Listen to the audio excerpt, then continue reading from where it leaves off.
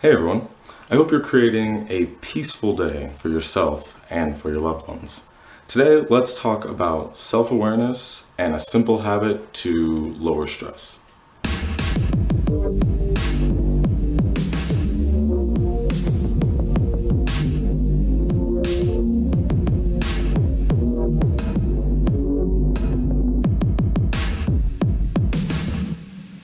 You ever stressed about something to the point of feeling exhausted or sick? There's many reasons why this happens, but often the culprit is what we'll call the mind-body feedback loop.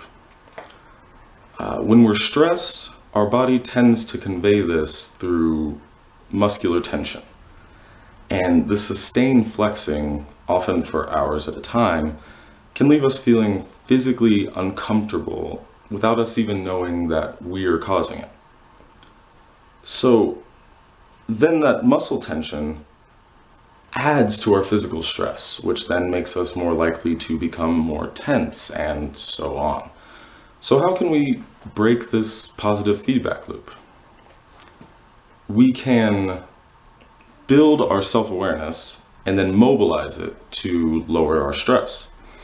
First, we perform what I call run-ups, or what I think is called uh, progressive muscle relaxation. Either way, at least twice daily, we draw our attention down to our feet. And we intentionally relax all the muscles within our feet. And then we move up to our ankles and do the same in our calves and work our way up our full body.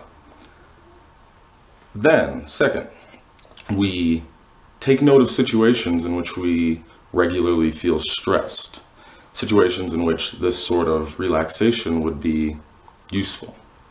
And third, after having practiced our run-ups uh, under no pressure and identifying where they will be useful, we then begin applying the behavior within the stress-inducing contexts.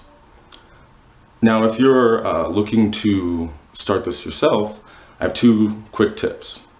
First is set yourself alarms on your phone or trigger habits to remind yourself to perform these run-ups. Personally, I, I do mine whenever I take my dogs out, um, so that leaves me with a couple more than twice a day, but plenty and I don't have to remember it on my own. Second tip is take note of the muscles that are consistently tense. These may require more active relaxation uh, outside of the fact, or even some stretching. So are you going to try it? try this? Are you going to start run-ups or progressive muscle relaxation or whatever you would like to call it? Do you think this would be useful for you?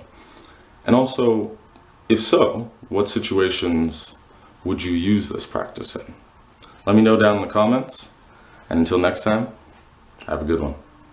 Here's a little dance for the people who watch the whole thing.